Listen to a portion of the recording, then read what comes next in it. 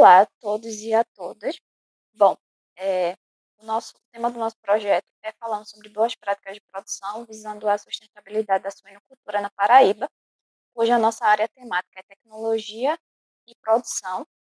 Temos como a equipe do nosso projeto é formada por mim, Maxine de Brito, é aluna do do curso de bacharelado em agroindústria, bolsista, tendo mais dois voluntários, também alunos do curso de agroindústria, Rogério Silva e Felipe Chaves, e é orientado pelo professor Augusto Leonardo Augusto Fonseca, que é do departamento animal.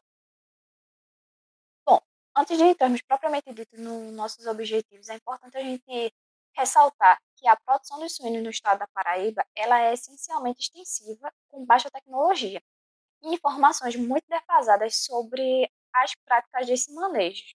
E o objetivo do nosso trabalho é justamente realizar a capacitação dos produtores de suínos nas cidades de Solange e os municípios próximos do estado, aplicar boas práticas de produção dos suínos e também acompanhar as, as mesmas né, na propriedade, sanando as dúvidas, e aplicar as técnicas e melhorias dentro da realidade encontrada.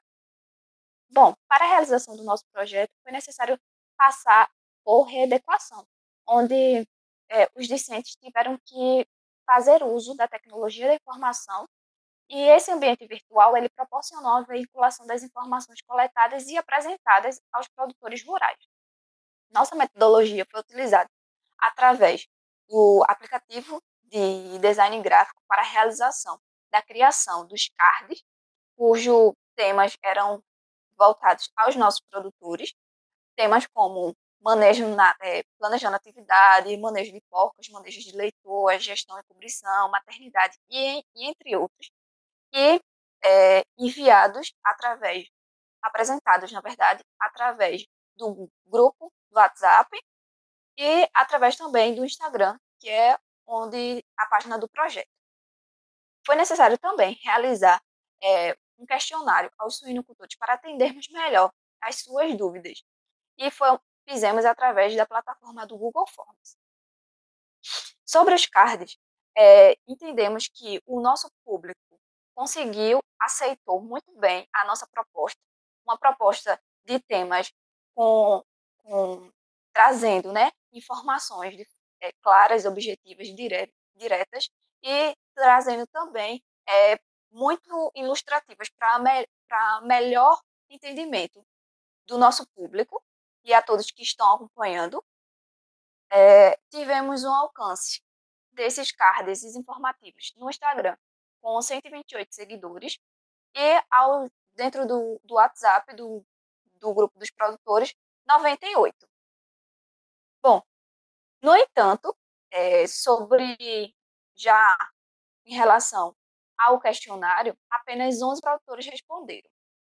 O que isso quer dizer? Quer dizer que os produtores ainda têm uma certa resistência em responder, porque talvez eles tenham é, medo de informar a forma que criam esses animais, pelo fato de não estarem atendendo às boas práticas de produção. Além também de ter a possibilidade deles não terem tanta familiaridade com esse tipo de formulário.